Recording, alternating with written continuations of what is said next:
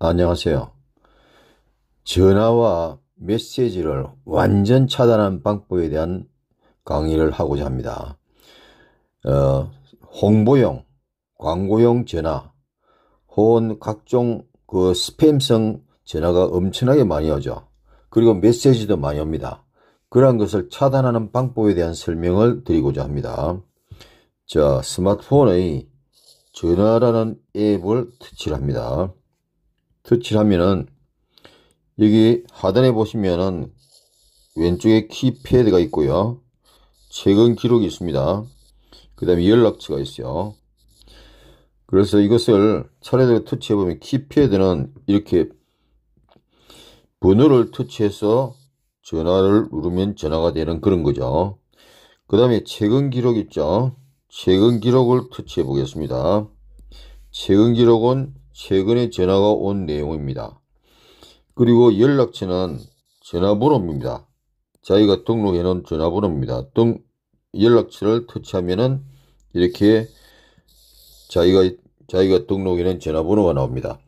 그러면은 여기서 에, 모르는 사람 혹은 아는 사람이라도 전화가 왔을 때 그것을 차단하는 방법에 대한 설명을 드리겠습니다.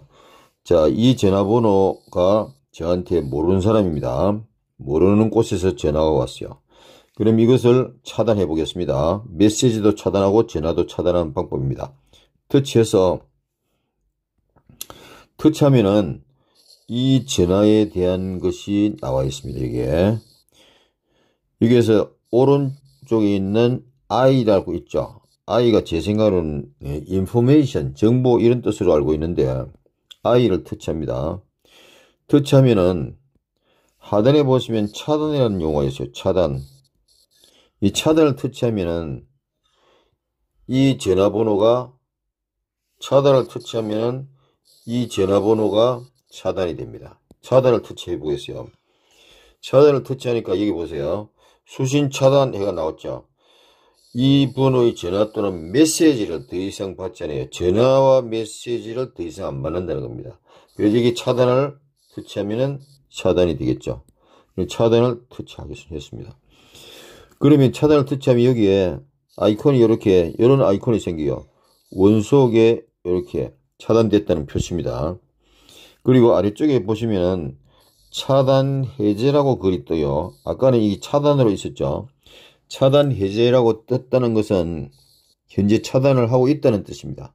그래서 이렇게 차단을 하시면은 이 전화번호에서 자기가 이 설정한 이 전화번호에서 오는 모든 전화, 모든 메시지는 차단이 되고 제가 받지를 않게 됩니다.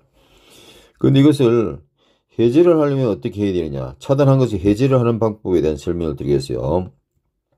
자, 이 상태에서 예, 차단을 해제하려면요. 요 위쪽에 보면 3점이 있어요. 더보기 3점이 있죠. 점 3개가 있어요. 이것을 터치합니다. 터치하면 여기에 예, 설정이라는 게 있어요. 설정. 설정이라고 있죠. 이 설정을 터치합니다. 설정을 터치하면 여기에 예, 보시면은 수신 차단이라고 있어요. 수신 차단. 수신 차단을 터치했습니다. 터치하면은 터치하면 여기에 예, 아까 아까 여기에서 제가 차단한 번호가 여기 있습니다. 이 번호와 일치할 때는 차단을 한다. 수신 차단을 한다. 이 뜻입니다. 예. 이걸 해제하려면은요. 오른쪽에 있는 마이너스 있죠. 뺀다는 뜻이에요. 이 마이너스를 터치하면은 차단이 차단된 것이 해제가 됩니다. 마이너스를 터치하겠습니다. 터치를 하면은 전화, 전화 메시지를 다시 받을 수 있습니다. 이렇게 잠시 듣죠? 듣다가 사라졌어요. 그러면 이 번호, 아까 그 번호는 다시 전화를 받게 됩니다. 뒤로 가세요.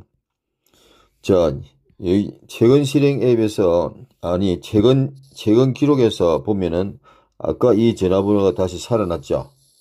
살아나서 여기에 이걸 터치해 보면요. 자, 터치해 보겠어요. 터치하면은, 터치한 다음에, 이 번호를 터치한 다음에, 이 I자를 터치하면요. 터치하면은, 차단이라는 글자가 생겼어요. 그러니까, 지금 차단이라는 글자가 생겼다는 것은 지금은 수신 가능하다는 뜻이죠. 그래서 차단을 터치해야 차단이 되겠죠. 그래서 이와 같이, 예, 차단한 것을 다시 해제를 했습니다. 이상 전화번호와 메시지를 완전 차단하는 방법 그리고 차단을 해제하는 방법에 대한 설명을 드렸습니다. 구독, 좋아요 부탁드립니다. 감사합니다.